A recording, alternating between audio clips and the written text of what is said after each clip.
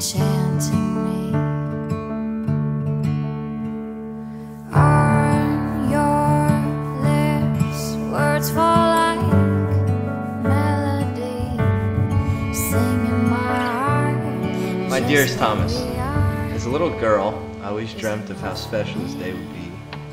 Imagining the beauty of the sunrise as I woke in the morning, the smell of fresh flowers in the air, and a smile beaming from my face as I walked down the aisle toward the man I knew I would love for the rest of my life.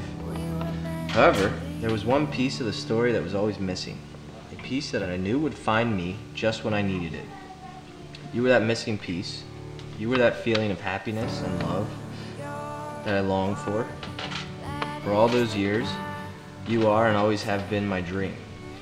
And every day that I am with you is the greatest day of my life. It's hard to believe that in just six hours you'll be my wife. There is nothing in this world that I want more. I believe God put us together. God's timing is never too early and never too late. It is always perfect. He knew that I needed you and I will always need you. I love you more than you'll ever know and I can't wait to see you. Love, Thomas.